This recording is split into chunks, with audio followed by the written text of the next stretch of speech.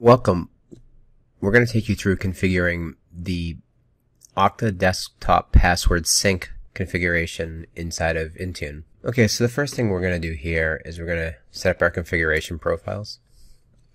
This will really be two parts. Select Mac OS, Settings Catalog. We'll call this Okta SSO. We're going to add settings. First, we're going to look for SSO.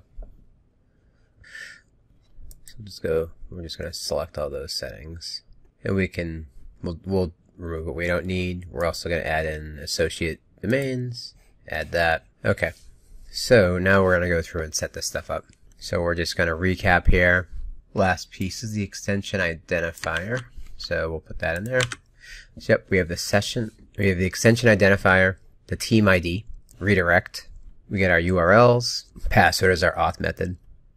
And so now we're going to go up to the associate domain. Under that, we're going to add, we're going to edit this application identifier, put that in there, and then the associated domain.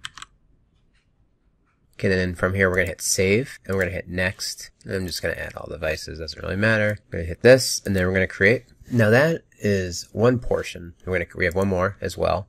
So in templates, we're going to go custom.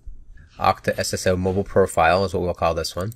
So now from in here, we're going to select the file. You see that just kind of pops the whole thing in there. So I actually updated this file, I re-uploaded it. So I used, make sure I was using the Intune supported formatting for the variable for the email attribute. So we have this one, and we're going to push this down to all users, or rather all devices. Then we're going to have one more to create. We're, we're going to call this Okta SSO extension. Okay, we have that. We're going to go ahead and we're going to push that on all devices as well. And again, we'll share all the code in, in the blog article. But just that simple.